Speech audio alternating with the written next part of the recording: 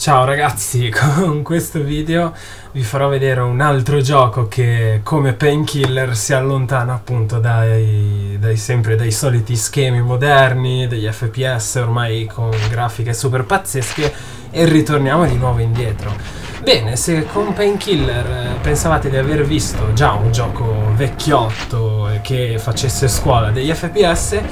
con Quake andiamo addirittura ancora più indietro fino al 1996. Questo gioco qua per me è molto importante, molto famoso perché è un gioco che appunto io giocavo da bambino e secondo me oggi, almeno tra la community italiana, è quasi sconosciuto, quindi non dico che mm, mi, mi farebbe pazzo di gioia che voi lo compraste, però certamente se riuscissi a farvelo piacere con queste due parole e voi supportaste diciamo l'ID prendendolo anche voi boh sarei più, più contento ecco perché l'ID a parte Rage eh, mi ha colpito molto in tutti i suoi episodi che ha fatto quindi eh, Rage è sicuramente un bel gioco però mi aspettavo molto di più c'è anche da dire che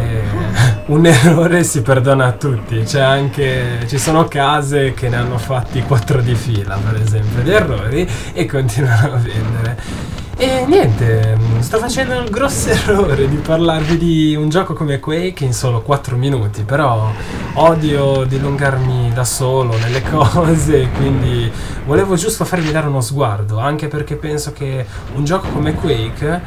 non lo si riesca ad apprezzare interamente solamente in una recensione, ma ha bisogno di essere visto e rivisto, cioè il modo migliore è vedersi dei, proprio dei gameplay oppure giocarlo, perché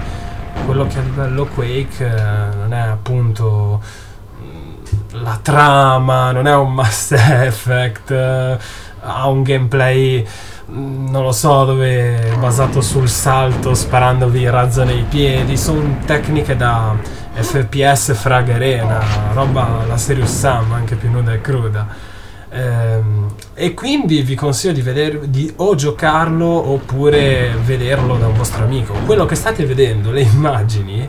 eh, non sono proprio direttamente del 96 infatti il gioco io l'ho moddato con delle texture che sono uscite fino all'anno scorso in HD e un motore grafico che gira su molti giochi un po' vecchiotti diciamo che si chiama Dark Place Engine e, e, niente, quindi è molto meglio visto così, cioè anche più giocabile per tutti secondo me. E un'altra cosa interessante è che con Quake, il Dark Place Engine, c'è la possibilità di giocarlo in cop. Però questo non è fondamentale, non è fondamentale da dirsi, ecco. Quello che c'è di bello in Quake eh, è diciamo l'atmosfera di gioco e ai tempi fu il primo vero gioco in multiplayer un multiplayer che eh, non so se magari farò insieme a qualche amico chi ne avrà voglia, ecco. La trama di Quake comunque rimane per certi versi simile a quella di Doom, ma non è l'importante. L'importante è in questi giochi qua sparare a tutto e vedervela voi contro il vostro nemico. Io qui ho chiuso, quindi se ci rivedremo con Quake è perché eh, lo giocherò in cooperativa e farò proprio dei gameplay. Sappiatemi dire qualcosa. Ciao ragazzi, bella giocata a tutti.